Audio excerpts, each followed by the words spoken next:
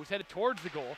Clark tried a shot, goes down low, side of the goal, saved there, rebound, it's loose at the side of the crease. They poke away, and they score! It's Oscar Andrin!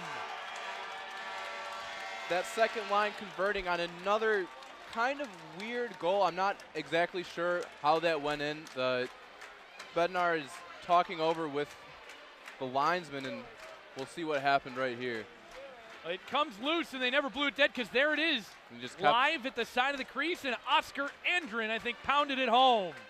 just seems like they kept on chopping at it, and no goaltender interference there because I think I think that was pretty clean. They just hammered it as pad, and I think they got to go in and take a look at this one regardless. That is Brad Albers, and that's a good goal.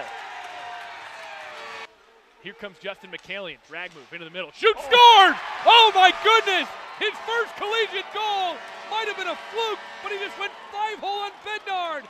The Dogs lead it 3-2 in the third on the strangest goal I've seen all night. pucks on net, pucks on net. As long as you get pucks on net, something's eventually going to get in. Just like the way tonight has been going, that goal just went five hole and snuck it right past Bednard. And that's definitely going to be one that he wants to get back.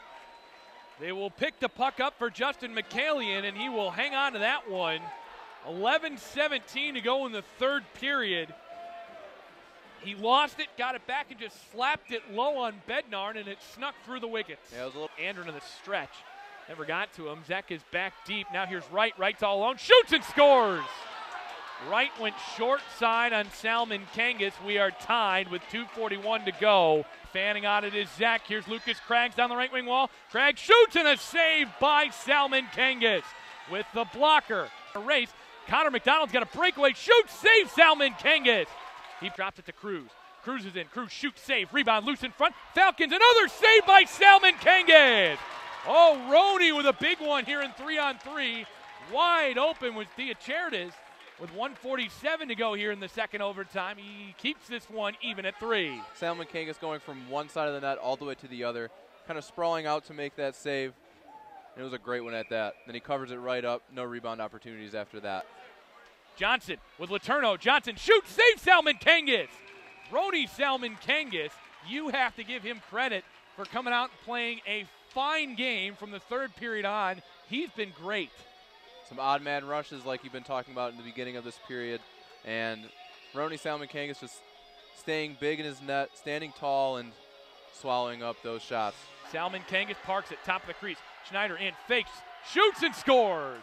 Nice move by Schneider to cut back to the left goalpost. We will see if Corey Mackin can keep it alive for Ferris State. Salmenkangas unhappy. He tracked it most of the way, but Schneider leaned out and made a nice, uh, nice poke past Salmenkangas there. Oh my gosh, look at that move. Here comes Mackin. Mackin, he'll come straight down Broadway. Now to the left, Mackin, and it's poked away by Bednard. The Falcons win it. But if you're Ferris State, a hard fought tie, and I think you can feel good about that much tonight as they get a point in the WCHA standings.